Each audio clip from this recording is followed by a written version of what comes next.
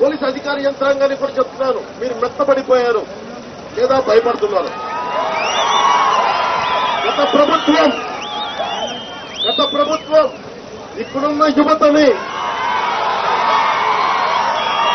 అందరినీ భయపెట్టారు They were hurling, even to national media, I want to bring it to your notice. They were hurling petrol bombs. They were, hur- hur- they were throwing crude bombs. One of the ex YCP MLA and his brother, they came here, they hurled petrol bombs and crude bombs and they broke the heads of farmers who were showing their dissent. They are robbing their lands when they came here to protest. They have broken their heads. They have beaten them. And I want I show me అందరికీ నేను హామీ ఇస్తున్నాను police అధికారులు కూడా చెప్తున్నాను మీరు ప్రజల్ని ప్రాణాలని కాపాడాల్సిన బాధ్యత మీ మీద ఉంది. రౌడీజం ని అరికట్టాల్సిన బాధ్యత మీ మీద ఉంది. ఇంకా వైసీపీ నాయకులు ఇంకా వాళ్ళే ప్రభుత్వం ఉన్నట్టుగా ప్రవర్తిస్తున్నారు ఇంకా. డోలు తీస్తాం తొక్క తీస్తాం మీరు నా మీద ఫోన్ చేసుకోండి.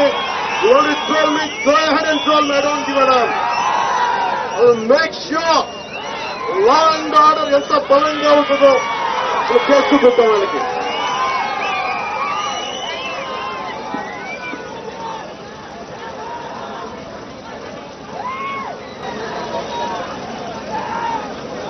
So always my concern, always my concern is about basic violation of human rights, no matter whether it's in our country or any other, any other country, has to be curbed, has to be assessed.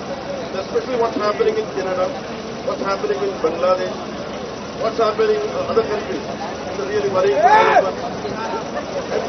the reason why I keep saying Sanatana Dharma, when I say Sanatana Dharma, Sanatana Dharma really has a larger heart, it protects people. Here I have my Muslim brothers here. We ask them how much protection we give them.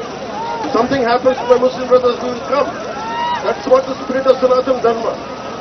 And here in Kerala, people have been, been Hindus been attacked. In Bangladesh, it's becoming a difficult situation. Hindus to live. And such situation had to be curtailed. And also I appeal to the government of India to appeal to all world leaders. It's not just government alone. Every Hindu in this nation has to come forward wherever Hindu is getting suppressed, wherever Hindu is getting oppressed.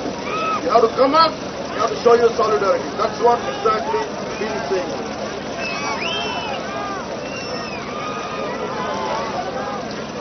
Whenever, whenever, I think it is, entire nation should come together.